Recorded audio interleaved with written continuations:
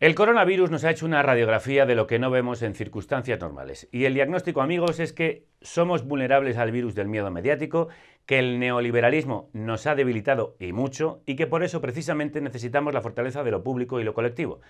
Los medios nos muestran el mundo como si fuera un videojuego bélico, distópico y apocalíptico en el que tenemos que salir ahí fuera conseguir víveres y matar chinos para salvar nuestro pellejo sin importarnos el resto. Claro, la inyección de pánico en vena en una sociedad sobreinformada pero desinformada crea estos zombies insolidarios, intolerantes e irracionales. Luego criminalizan a los migrantes que saltan la valla huyendo de guerras y hambre, pero ellos por mucho menos asaltan un súper.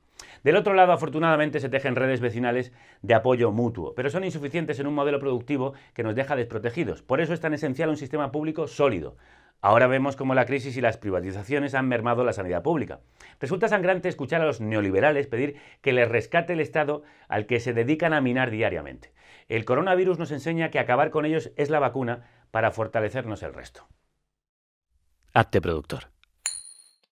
Defiende tu altavoz.